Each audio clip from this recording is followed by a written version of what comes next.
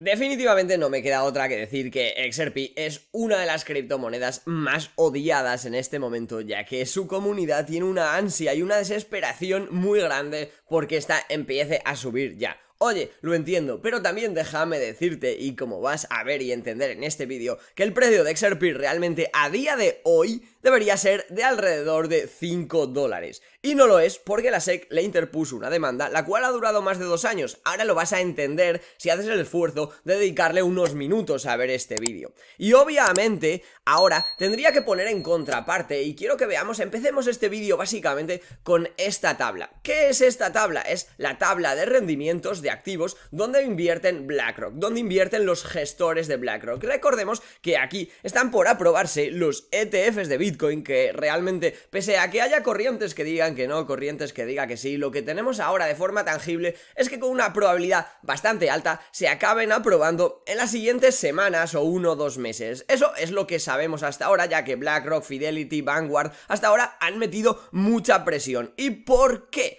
Bueno, vamos a empezar esta tabla y aquí podemos ver los rendimientos de los activos que mejor rendimiento han dado a los inversores de BlackRock en los últimos 10 años. Y ahora lo vamos a comparar con las criptomonedas, vamos a sacar unos cuantos cálculos para poder delimitar exactamente el por qué las criptomonedas son tan importantes y BlackRock las quiere añadir a su portfolio, ya que hasta ahora todas estas entidades habían dejado muy de lado Bitcoin, XRP, Ethereum, todo el ecosistema cripto. La respuesta es muy sencilla, porque cuando cuando ellos venden este tipo de activos, estos gestores, estos asesores financieros generan una comisión para ellos, cuando obviamente hasta ahora, hasta que el ETF de Bitcoin no esté listo, no van a poder vender Bitcoin, lo pueden comprar a título personal y ganar dinero con él a título personal, pero como empresa, como trabajo, no están pudiendo generar rendimientos ni ganancias para ellos. Y una vez se aprueben los ETFs, lo que básicamente se va a aprobar es un ejército, como ahora vamos a ver y entender, enorme de vendedores de este producto que van a querer endosárselo a prácticamente cualquiera y donde lo endosen del 0,1 al 1 al 2% a sus inversores, esto va a hacer que los precios suban muchísimo y obviamente la cosa no se va a quedar ahí. Dicho esto, como podemos ver aquí, el mejor activo que funcionó en 2014, los rates fueron de un 22,8. Luego en 2015 las acciones japonesas con un 9,9. En 2016 los bonos con un 14,3 anual. Y luego en 2017 las acciones chinas con un 54%. En 2018 lo mejor que pudimos tener con lo que más rendimiento hubiéramos sacado de los activos con los que trabaja BlackRock sería el efectivo. 2019 las acciones de Estados Unidos, 2020 las acciones de China nuevamente, 2021 las commodities, 2022 exactamente igual. Podemos ver que de hecho el año que más rendimiento se sacó fue un 54,3, en 2023 las acciones de Estados Unidos y en este año básicamente las equities. Bien, aquí lo que te quiero traer con esto y poner en contraparte, si nosotros hubiéramos invertido 100 euros aquí y siempre los hubiéramos reinvertido en el activo que más rentabilidad estaba dando, en el paso de estos 10 años, estos 100 euros se hubieran convertido en 834,9 euros. Bien, tenemos. Quiero que te quedes presente con esa rentabilidad. Ahora, estas son las rentabilidades que ha dado únicamente Bitcoin en los últimos años. Bien, en el 2010 un 9.900%, en 2011 1.473, 186, 5.507, bueno, podemos ver aquí, esto está hasta 2021, falta los últimos dos años, 2021 un 66%, un 301%, y con esto lo que yo quiero traerte es lo siguiente. Si hubiéramos comprado las seis principales criptomonedas en sus inicios, bien, cuando empezó cada una de ellas, únicamente hubiéramos dedicado 100 euros y las hubiéramos, bueno, 100 dólares y las hubiéramos mantenido hasta día de hoy, actualmente, por ejemplo, con Bitcoin tendríamos, si lo hubiéramos comprado por allá por 2010, tendríamos unos 16 millones y medio de dólares. Con Ethereum teníamos, tendríamos un medio millón de dólares en este momento. Con BNB tendríamos 178 mil dólares. Con XRP tendríamos 20 mil, casi 21 mil dólares. Con Solana tendríamos 11 mil dólares y con Cardano tendríamos 1.434 dólares. Son diferencias bastante impactantes, obviamente a nivel histórico de momentos el activo que mejor rendimiento ha tenido, estamos viendo y lo estás pudiendo ver aquí con datos, no me lo invento yo, es Bitcoin y es por eso que estas gestoras lo que quieren es entrar aquí porque quieren poder ofrecer un activo que genere rendimientos tan elevados o más elevados incluso que estos, ya que podemos ver la diferencia. Si nosotros hubiéramos invertido en los mejores activos de BlackRock desde 2014 hasta hoy, tendríamos 800 dólares. Si hubiéramos invertido 100 dólares en Bitcoin desde 2010 hasta hoy, tendríamos 16 millones y medio de dólares. No digo que vayamos a seguir teniendo las mismas rentabilidades, pero la contraparte creo que se hace vigente y ahora obviamente BlackRock y sus gestores y sus asesores financieros lo que quieren es poder sacar tajada de esto. Y ahora tú me dirás, perale, Nico, me estás contando muchas cosas, pero es que XRP tiene mucha diferencia a lo que sería, por ejemplo, Ethereum sobre todo o BNB y al principio del vídeo has dicho que XRP debería valer 5 dólares o 4,92 que es la cifra que da exactamente. Bien, para ello, porque, bueno, todo lo que tenemos que saber es que XRP se le privó del último mercado alcista. Si nos vamos al gráfico, Bitcoin tuvo un máximo por allá por 2017 en los 19.400, bien, y él luego, posteriormente de cara al 2021, lo superó con creces. Pero XRP tuvo un máximo por allá por 2018 en enero en los 3,30 dólares, pero luego no lo pudo superar. Por lo tanto, aquí estamos todos de acuerdo a que la demanda de la SEC hizo que XRP se le privara de su rally alcista, el que debería haber tenido en el pasado mercado alcista. Bien, ahora vamos a quitarles a todos el último mercado alcista, ¿bien? Vamos a comprar estos mismos activos, el único que no he podido incluir es Solana porque nace en 2020, pero vamos a comprar los mismos activos en, eh, en sus inicios y luego los vamos a vender todos en 2019. Pues habríamos sacado en Bitcoin unos 7 millones de dólares, en Ethereum unos 313 mil dólares, en XRP unos 115 mil dólares, en Cardano unos 4 mil dólares y en BNB unos 16 mil dólares. Bien, ahora podemos empezar a entender cuál es la importancia que, que, que la demanda tuvo, ya que XRP realmente estaba sacando unas rentabilidades bastante parecidas al menos a las de Ethereum. Bitcoin, obviamente, al tener bastantes más años y al haber tenido mejor recorrido en sus inicios, pues está mucho más elevado, ya que como pudimos ver en la imagen que te ponía aquí, estamos hablando que era un 9900%, un 5500% en sus inicios, y esto la verdad que es bastante. Ahora, Luego, pensando en que XRP, por ejemplo, si hubiera tenido, hubiera podido tener el mercado alcista porque la SEC no le hubiera interpuesto una demanda, no sabríamos lo que hubiera ocurrido. Pero vamos a sacar conjeturas de todas estas cifras. ¿Y qué conjeturas podemos sacar? Bueno, aquí podemos ver de entrada que tiene unas tres veces menos de rendimiento de lo que estaba teniendo Ethereum. Pues si sacamos esta cifra, básicamente nos dice que XRP debería valer 4,92 dólares, cosa que se alinea con el documento que vimos en detalle en muchas ocasiones de este canal de Robert Michinsky y Susan Atey. Robert Michinsky, recordemos que es el director actualmente de activos digitales para BlackRock y Susan Atey es una persona que está en la junta directiva de Ripple. Este documento lo hicieron en 2018 antes de que supieran que la SEC iba a poner una demanda Ripple y aquí estipulaban concretamente con XRP que llegaría de cara al 2021 entre los 32 y los 6 dólares con 37 y que tendría un retroceso entre los 8 dólares con 23 y el dólar con 59. Y teniendo en cuenta que con Bitcoin lo clavan ya que daban un techo entre los 93.000 y los 45.000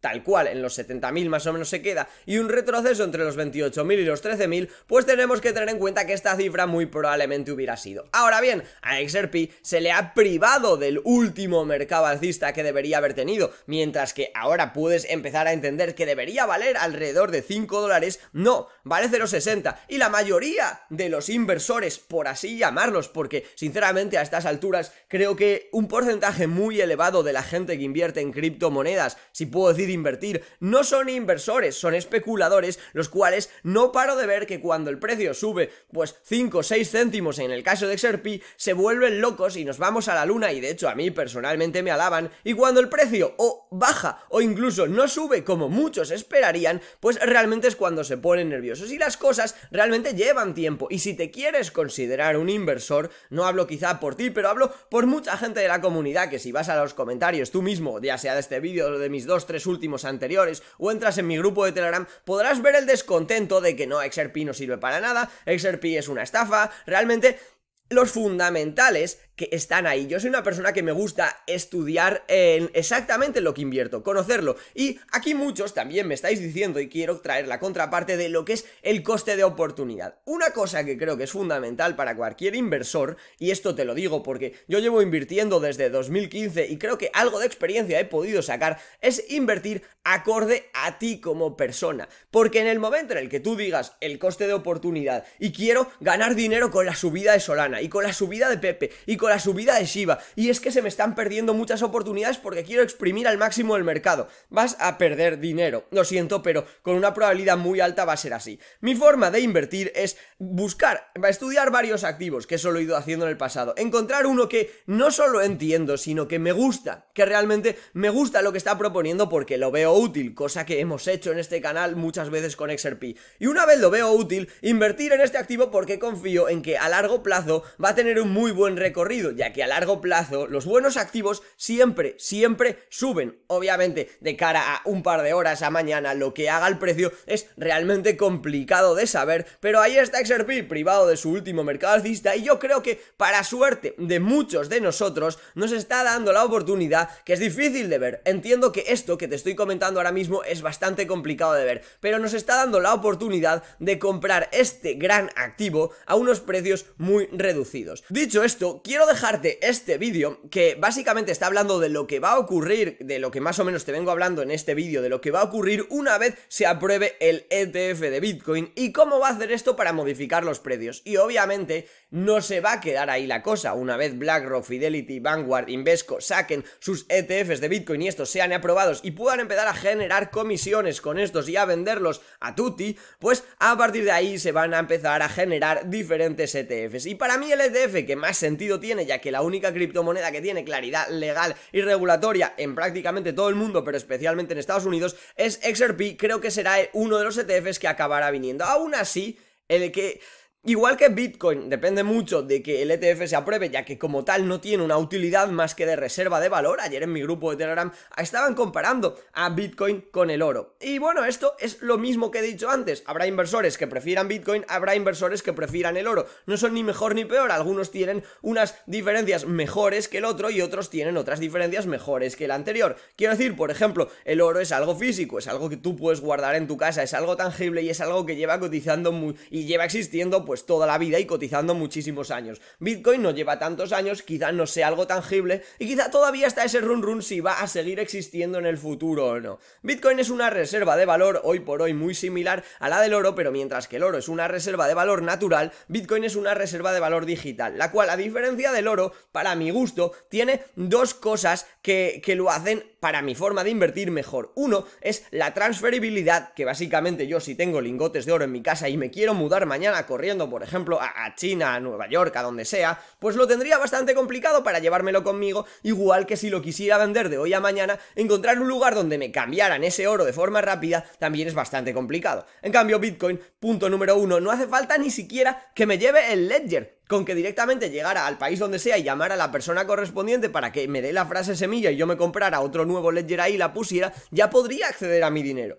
Y punto número dos, realmente es muy sencillo de vender ya que tenemos exchange en línea que nos permiten venderlo al precio actual en prácticamente cualquier momento. Y bueno, dicho esto, no me enrollo más, te dejo este clip. ¿Sabes? Es una muy buena pregunta y voy a decirte algo que es una realidad poco conocida, pero no tan secreta en Wall Street. La realidad es que en Wall Street se venden productos no se compran. Imagina a un ejército de personas que van a vender llevando café y donuts a estas oficinas de corretaje y dando discursos sobre Bitcoin. Les dirán a esas personas que pongan un 1% en Bitcoin. Y estas personas suelen comprar ETFs, por ejemplo de SAP o de bonos, etcétera, y ahora tendrán capacidad de comprar ETFs de Bitcoin que ha sido aprobado por el gobierno federal y ha sido el activo de mejor rendimiento en los últimos 10 años, sin duda alguna.